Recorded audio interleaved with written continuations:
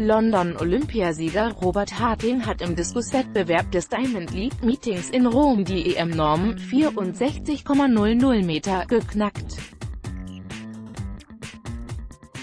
Durch seinen fünften Platz mit 64,64 Metern bewarb sich der Berliner für einen von drei Startplätzen des Deutschen Leichtathletikverbandes bei der Heim-EM in Berlin 7. Bis 12. August. Harting verbuchte seinen stärksten Wurf bereits im zweiten Versuch und verbesserte seine Saisonbestleistung um 97 cm. Souveräner Sieger wurde der Jahresbeste Fedrik Dekes, Jamaika, mit 68,51 Metern vor Weltmeister Andrius Gutsius aus Litauen, 68,17.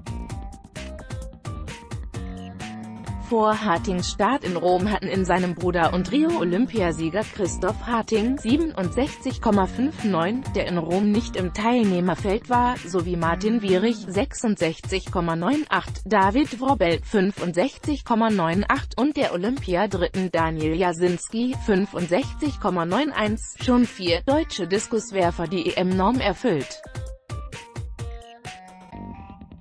Wer die drei DLV-Startplätze bei der EM einnimmt, entscheidet sich Ende Juli nach der DM in Nürnberg. Über 3000 Meter Hindernis durfte sich Europameisterin Gesa Felicitas Krause im Stadio Olimpico ebenfalls über die Erfüllung der EM-Norm 9,45,00 freuen. Die Trierin kam nach 9, 39,52 Minuten als 14. ins Ziel.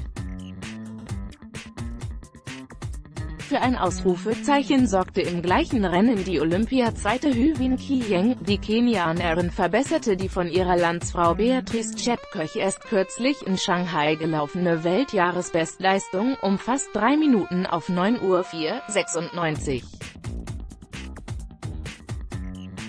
Im Stabhochsprung reichte Ex-Weltmeister Raphael Holzdeppe die Einstellung seiner Saisonbestleistung von 5,62 Metern für einen guten dritten Platz. Punkt. Den Sieg sicherte sich Weltmeister Sam Kendricks aus den USA, der seine Saisonbestmarke auf 5,84 hochschraubte.